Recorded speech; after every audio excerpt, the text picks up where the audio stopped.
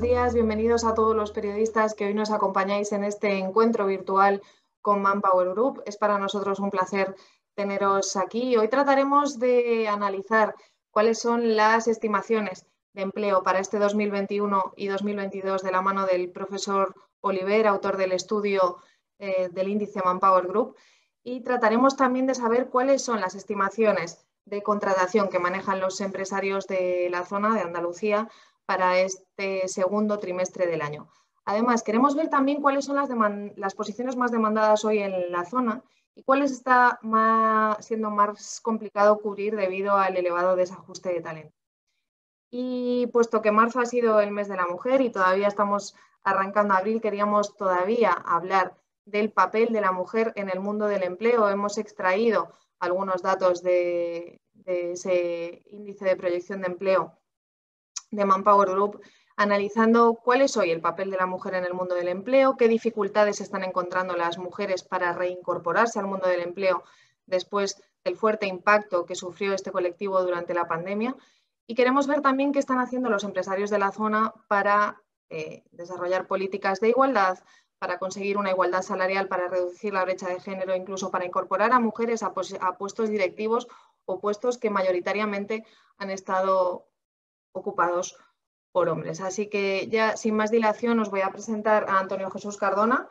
Él es Regional Talent Manager de Manpower Group. Nos estás escuchando hoy creo desde Málaga, ¿verdad Antonio? No, no, hoy estoy eh, en la oficina de Sevilla. Estás en Sevilla. Sí. Pues bueno, pues adelante eh, Antonio, te escuchamos. Venga, pues buenos días a todos y gracias por acompañarnos en este encuentro. Manpower Group eh, llevamos trabajando en España más de 30 años y hace 20 que estamos dinamizando el mercado en Andalucía, apostando de forma muy clara por impulsar el empleo en la comunidad. En 2019 estábamos precisamente inaugurando esta oficina desde la que hoy os hablo, nuestra oficina Hub en Sevilla. Con este espacio quisimos apostar de forma clara por impulsar esta ciudad como una talent city. Queríamos, y esa es nuestra vocación hoy, desde aquí ofrecer todas nuestras soluciones de talento, trabajo flexible, selección y evaluación, formación y desarrollo, gestión de carreras, recolocación, externalización y consultoría. La pandemia nos ha alejado a todos un poco, pero tenéis nuestras puertas siempre abiertas en nuestra oficina. El contexto al que nos hemos enfrentado en los últimos años sin duda ha sido complejo, pero hemos remontado los peores escenarios. En 2022, desde Manpower Group en Andalucía, hemos ayudado a más de 6.000 personas a encontrar empleo y unas 20 han participado activamente en programas de agencia de colocación. Según nuestro estudio eh, trimestral Manpower Group de proyección de empleo, la expectativa de contratación de los empresarios de la zona sur, que comprende Andalucía, Extremadura e Islas Canarias, son las más modestas de la geografía española para este segundo trimestre del año las previsiones de creación de empleo se sitúan en un 15%, lo que supone una bajada de 6 puntos porcentuales respecto al trimestre anterior, que fueron de un 21%. En una comparativa interanual, la zona sur pasa del 6% del segundo trimestre de 2021 al 15%. Es decir, crece y muestra una subida de 9 puntos porcentuales. Además, el 35% de los directivos de la zona sur prevé ampliar su equipo, mientras un 23% prevé reducirlo y un 38%, la mayoría, prevé mantenerlo. Pero como os decíamos, hoy queremos también hablar del papel de la mujer en el mundo actual y surgen varias cuestiones. ¿Qué están haciendo hoy las compañías para conseguir la igualdad salarial e incorporar a las mujeres a sectores y puestos predominantemente masculinos? ¿Qué plazo se están marcando en su estrategia de igualdad? Pues según los datos regionales extraídos también del estudio de proyección al empleo, el 85% de las organizaciones del sur asegura estar midiendo algún aspecto relacionado con el papel de la mujer en el mundo del empleo. Cuatro de cada cinco, el 82%, se han marcado objetivos en esta materia, con especial atención a la igualdad salarial, 53%, el nivel más alto del país. Aumentar el número de mujeres en posiciones de liderazgo, 28%.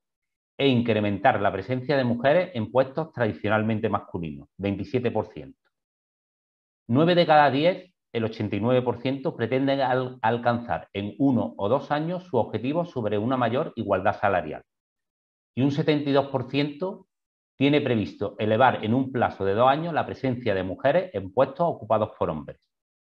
El 73% de las empresas están cumpliendo en tiempo o incluso con antelación sus planes para una mayor igualdad salarial. Y un 68% asegura avanzar a este mismo ritmo en relación con su objetivo de incrementar la presencia de mujeres en puestos de liderazgo. También queremos ofrecer hoy nuestra visión como observadores privilegiados que estamos en contacto con miles de clientes. Ahora que los planes de vacunación nos permiten ser claramente más optimistas y las ofertas de empleo siguen activas, los sectores que están haciendo de motor o están acelerando el ritmo de contratación son la industria alimentaria, la logística, muy relacionada con el comercio online, la industria tecnológica, el sector naval, el turismo y la restauración y las industrias relacionadas con la energía verde. Las compañías están demandando perfiles con formación profesional o ciclo de grado medio grado superior para puestos industriales de electricidad, mecánica, mecatrónica y soldadura, puestos de mozo de almacén, repartidores y carretilleros. Destacar perfiles de ingeniería naval e industrial y perfiles cualificados de este sector. También es importante la demanda de camareros, cocineros y perfiles diversos para el sector turismo con idiomas. Nosotros hemos observado que el desajuste de talento es una constante, no solo en Andalucía. Así, estamos encontrando problemas para encontrar perfiles de mantenimiento, carretilleros, cocineros, teleoperadores, profesionales de oficio del sector naval como ajustadores y amanteros, Además, cada vez nos llegan más ofertas eh, para, perfiles con dominio de idiomas. Los niveles de contratación se van recuperando tras la pandemia, pero las zonas que mejores cifras están consiguiendo son actualmente el campo de Gibraltar y Málaga. En este sentido, podemos decir que hay sectores que hoy están lastrando la recuperación, el sector de la automoción y empresas auxiliares. En Manpower Group queremos hoy tender la mano a nuestros clientes para que juntos podamos garantizar la sostenibilidad de sus compañías. Y, como no, también a los candidatos, pues sabemos que con las habilidades adecuadas, es decir, si apoyamos en la capacitación e, e impulsamos su desarrollo, nadie tiene por qué quedarse en el camino. Muchas gracias.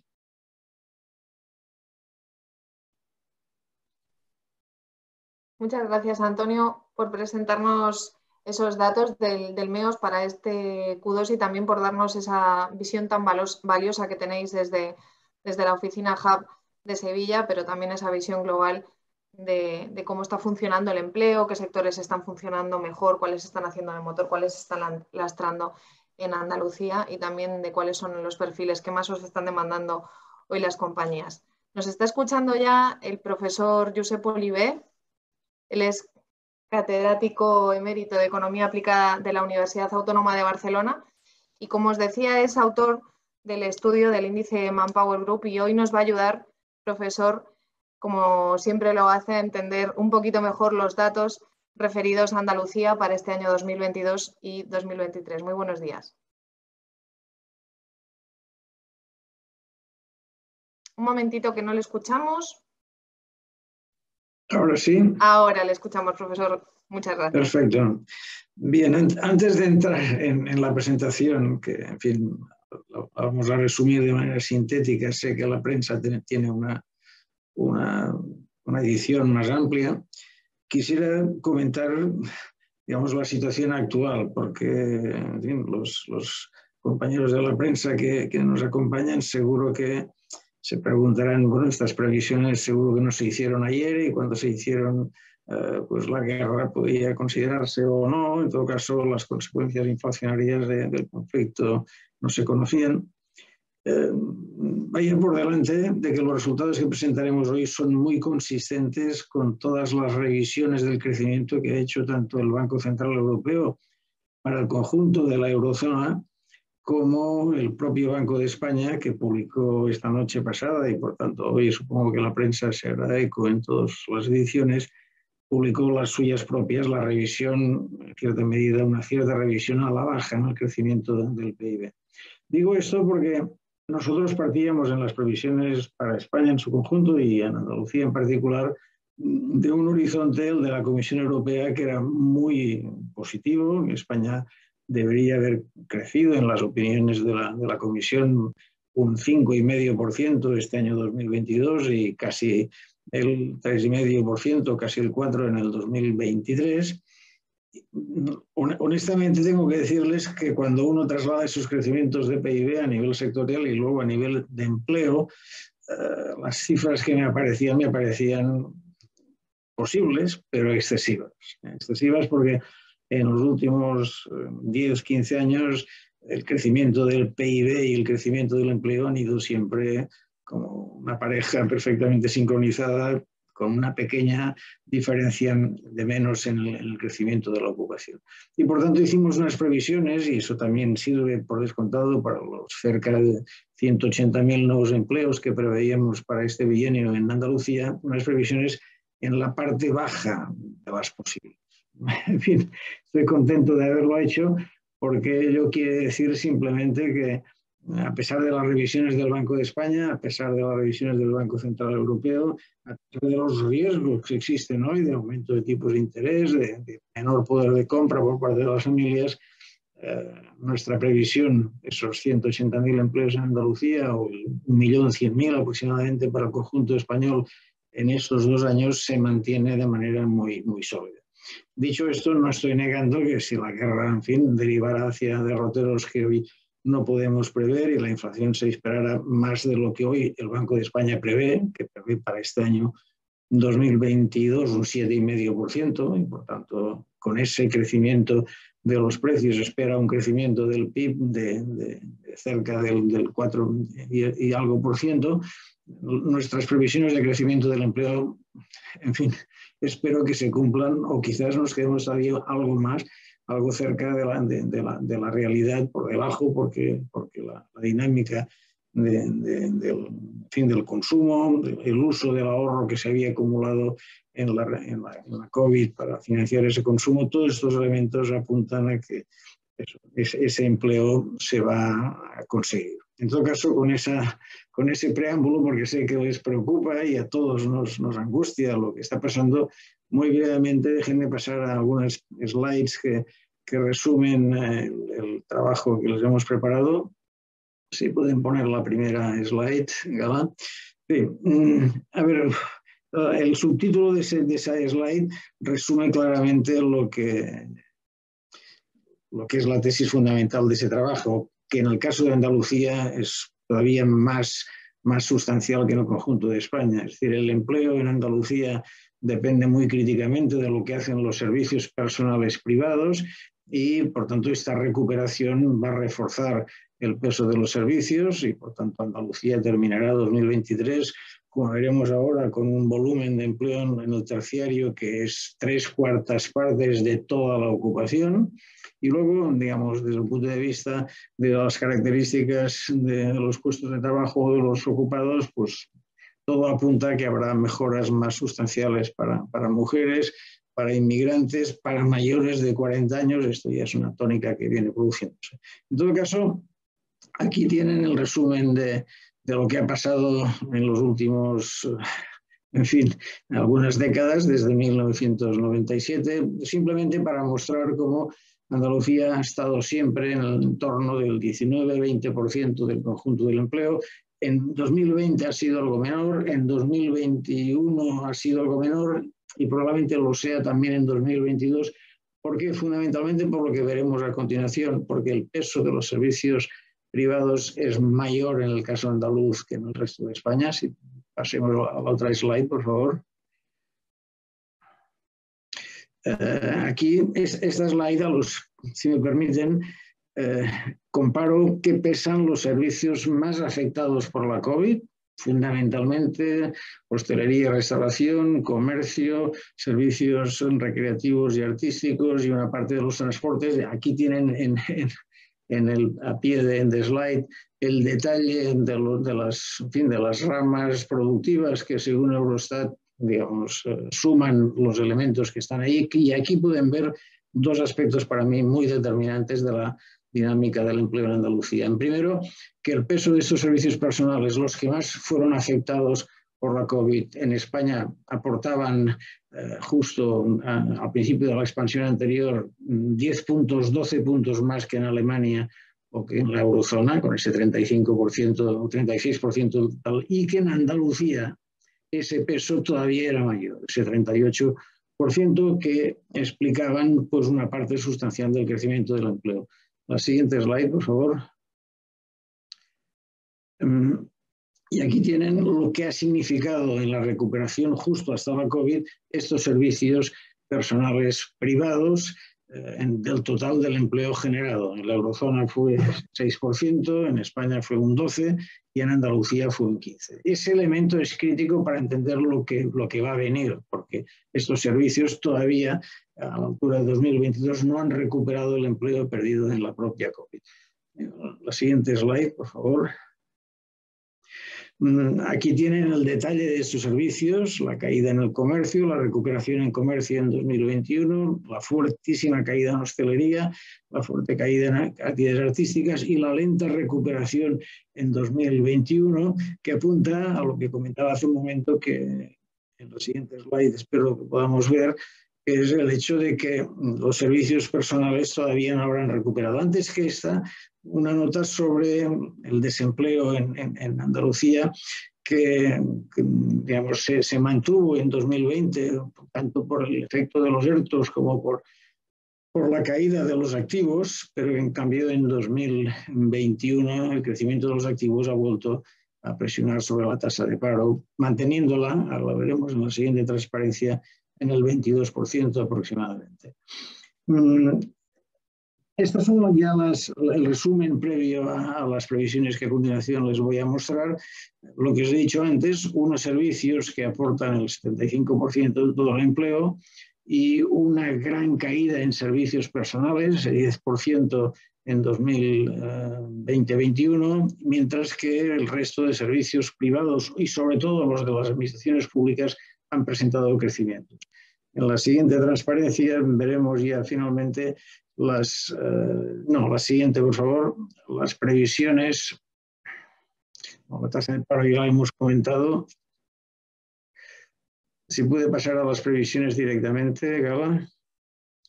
Aquí tienen las previsiones en el horizonte 2022-2023 un aumento muy importante en media anual del 3, de casi el 3%, un 2,8%, mm, que deriva fundamentalmente de estos servicios que crecen un 3,6% en 2022 y una tasa ya menor porque habrán recuperado lo perdido en 2023, mientras que la industria y la construcción crecerían más, pero su aporte al crecimiento total, total es más reducido. Y en términos absolutos, si vemos la siguiente transparencia, veremos cómo la, mejora del empleo en 2022, estos 120.000 puestos de trabajo aproximados más los 60.000 que esperamos en 2023, situarían ya el volumen total de empleo andaluz a finales del próximo año por encima, y ya en finales de este mismo año también, por encima de los registros previos a la crisis eh, financiera y, por tanto, habiendo reabsorbido el choque de esta crisis y de la crisis siguiente. Mm, y por mi parte, mm, eso es todo.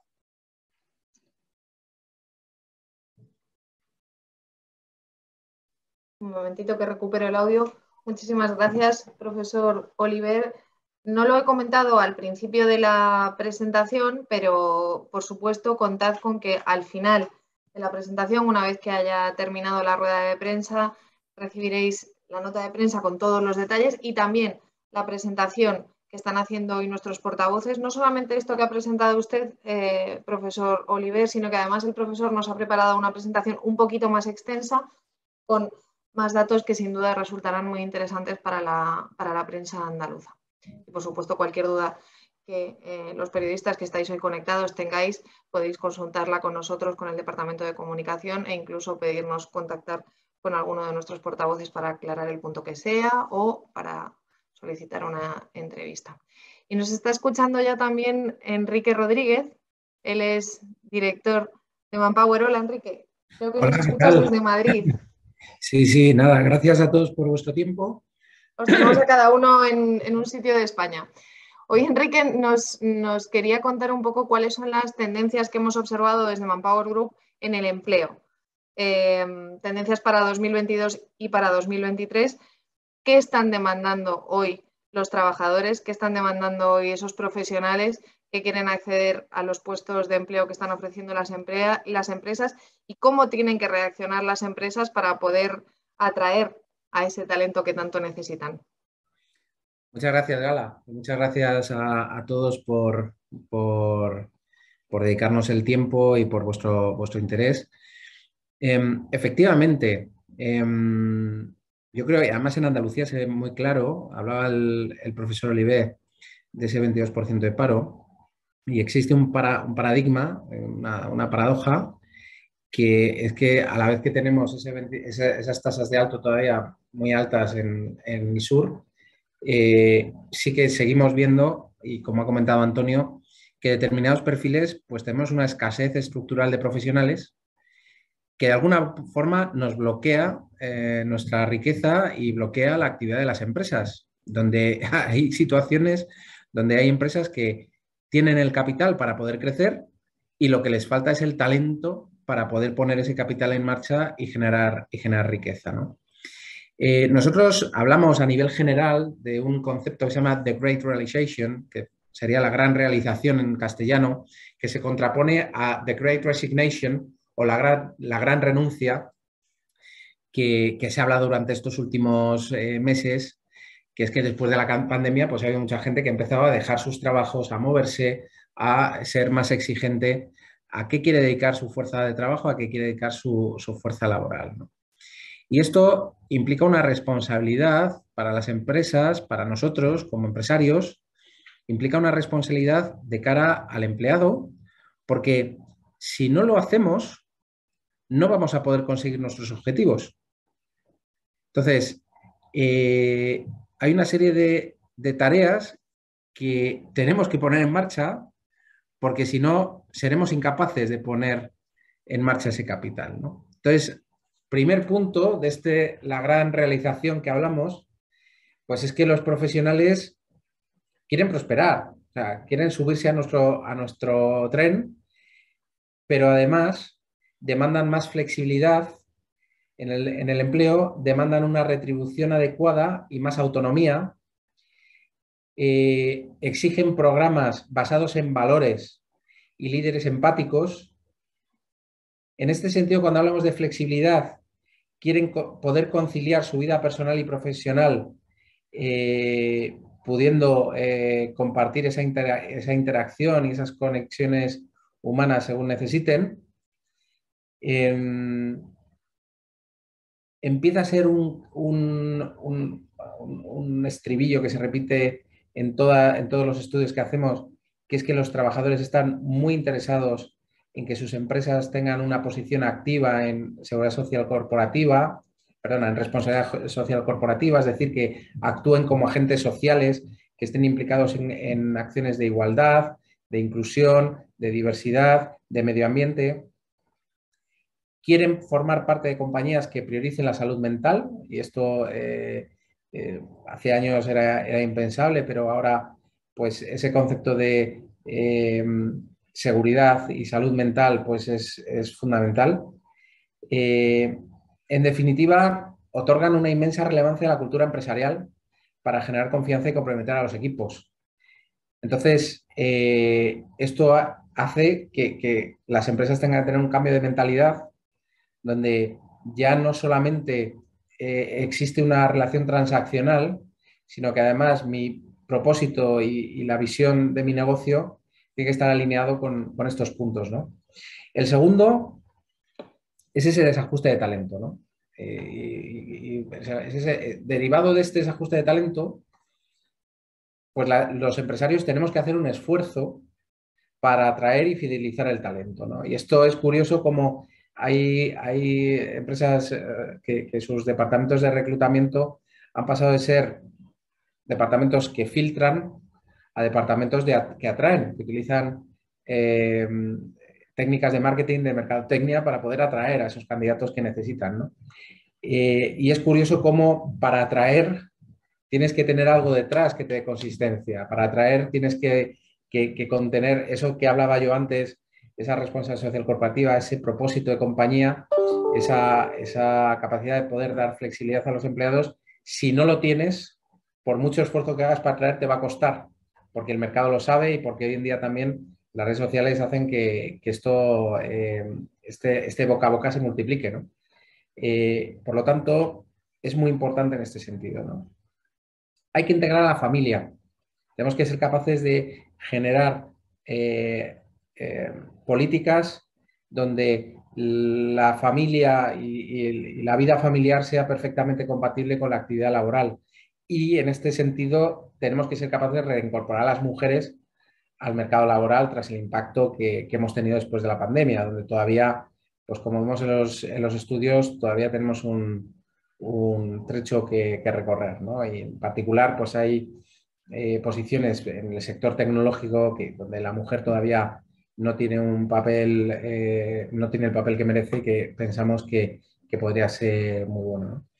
Em, es decir, al final, si queremos seguir atrayendo, tenemos que hacer un planteamiento donde respetemos, respetando esa diversidad y, seamos capaces de, trabajar en esa inclusión de esa diversidad, eh, pues avanzar de forma real, ¿no? Y no tanto en políticas, sino en efectivamente planes aterrizados en las compañías, porque si no, pues el mercado es muy cruel y, a lo mejor, pues efectivamente tienes el capital, pero no tienes el talento disponible, ¿no? El tercer punto es la, aceleración tecnológica. Esto, pues, pues, yo creo que lo estamos viendo ya desde hace tiempo, pero obviamente en este año, eh, en estos últimos tres años, se ha acelerado de una forma tremenda.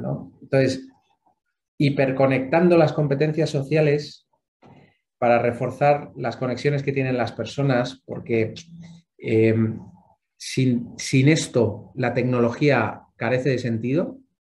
La tecnología tiene que ser un medio para poder conectar más y mejor y no un bloqueo. También las tecnologías nos tienen que servir para ser más sostenibles y esto, bueno, pues está muy claro.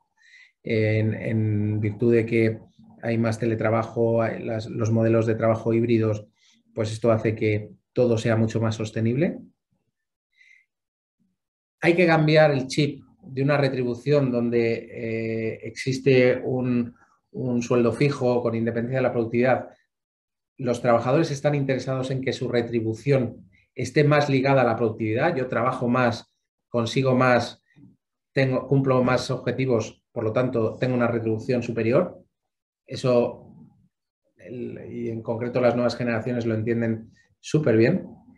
Em, y además, pues invertir en, en esa tecnología eh, pero además no olvidarnos de amoldar nuestros procesos empresariales a esa tecnología, ¿no? porque si implantas tecnología y no tienes el proceso adaptado, pues te puedes caer. En definitiva, la tecnología nos, nos, debe permitir hacer un análisis más inteligente del talento, la tecnología tiene que ver mucho también con la gestión del dato y el poder tener a través de esa tecnología datos reales de cuáles son mis productividades, qué está pasando con mi gente, qué, qué, consecuencias tienen las acciones que estoy poniendo en marcha, pues nos tiene que ayudar a, poder eh, atraer y retener mejor. Que, como digo, pues es un contrapeso donde en una comunidad autónoma como con el 22% de paro, de, de, desempleo, pues tenemos problemas para cubrir esas posiciones que hablaba antes Antonio, ¿no?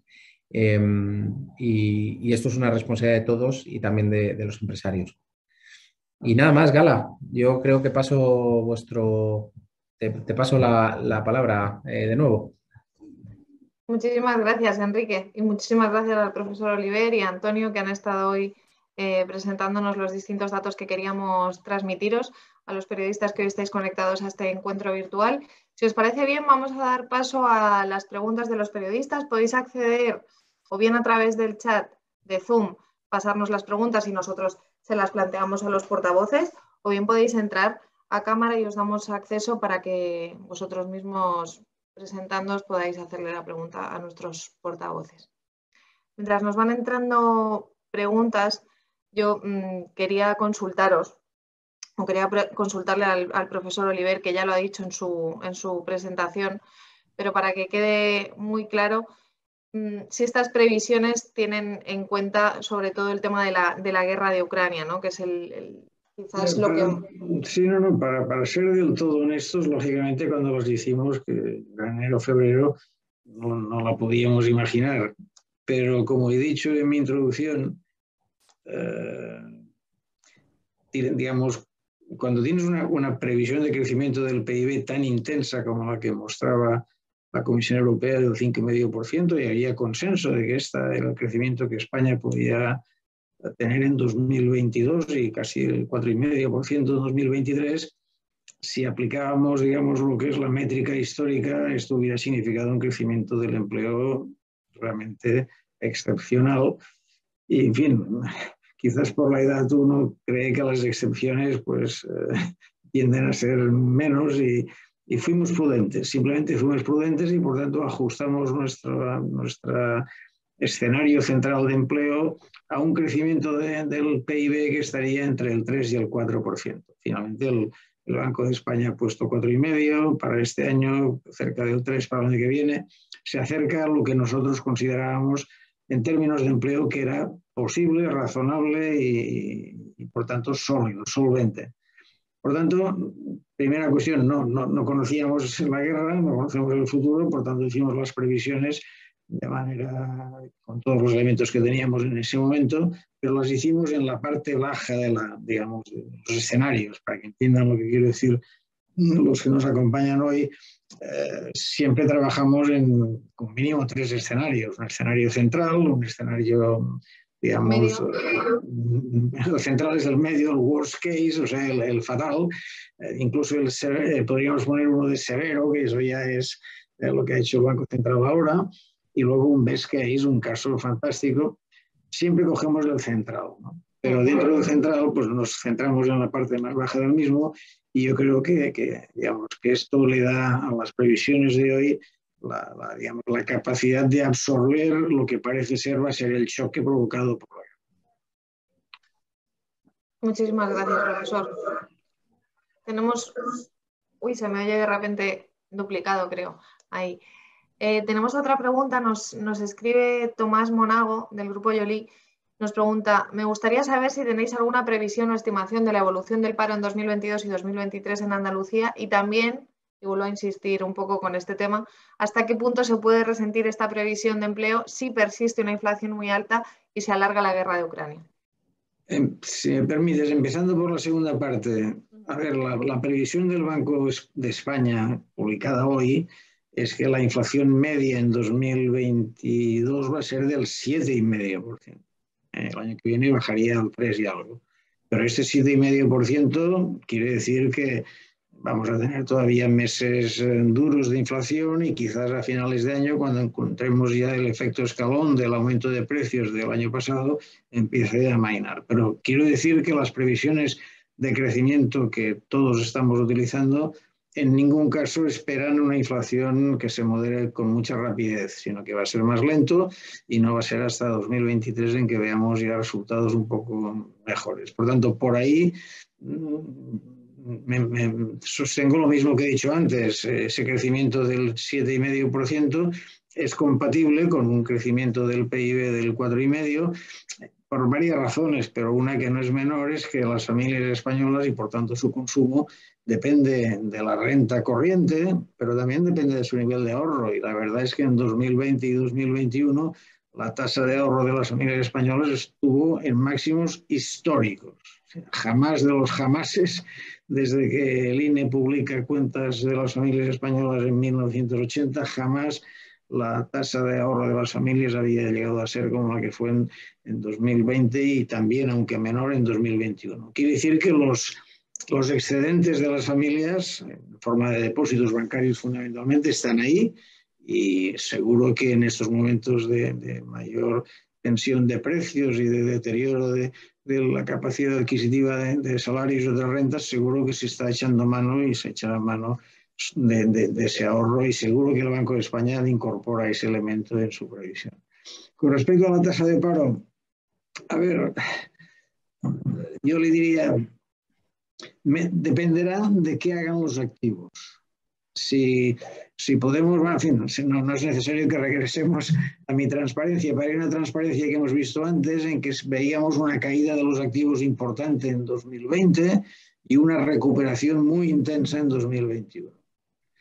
Eh, ¿Por qué? Bueno, porque, sí, digamos, por muchas razones de, comportamiento de las familias y de su presencia en el mercado de trabajo.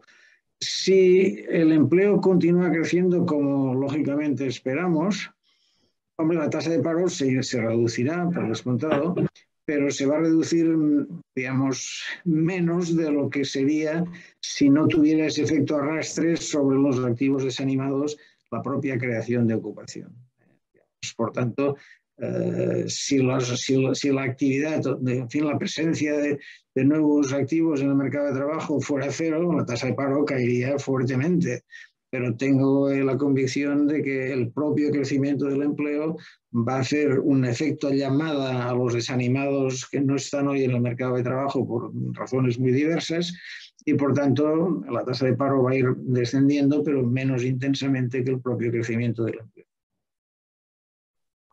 Muchas gracias, profesor, y muchas gracias a Tomás de Grupo Yoli por su, por su pregunta.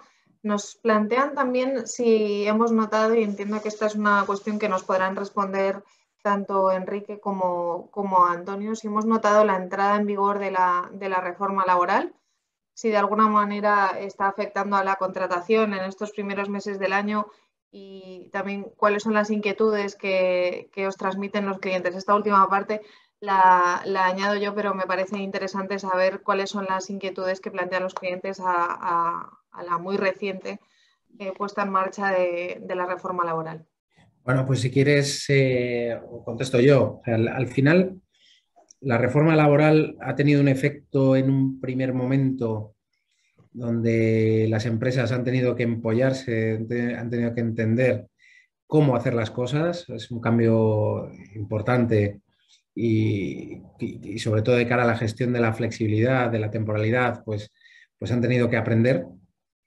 En nuestro caso, bueno, pues estamos notando un aumento significativo en, en, la gestión de fijos discontinuos. Nosotros ya desde el día 1 pues hemos empezado a incluir dentro de nuestro servicio de gestión de flexibilidad pues la fórmula jurídica de fijos discontinuos para gestionar pues esa flexibilidad que necesitan nuestros, nuestros clientes dentro de un marco más general donde seguimos utilizando pues, contratos temporales, contratos de formación, etcétera, etcétera.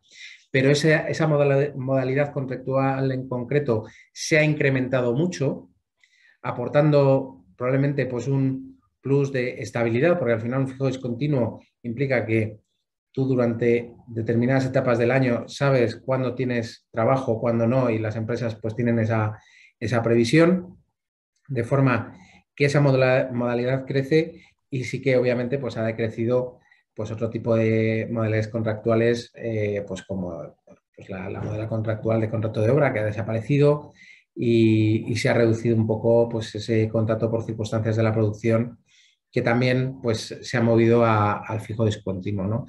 Yo creo que em, en cuanto a empleo, pues eh, las previsiones eh, siguen, se sigue creciendo a nivel general en el país, en España, se sigue creciendo y se sigue creciendo a buen ritmo.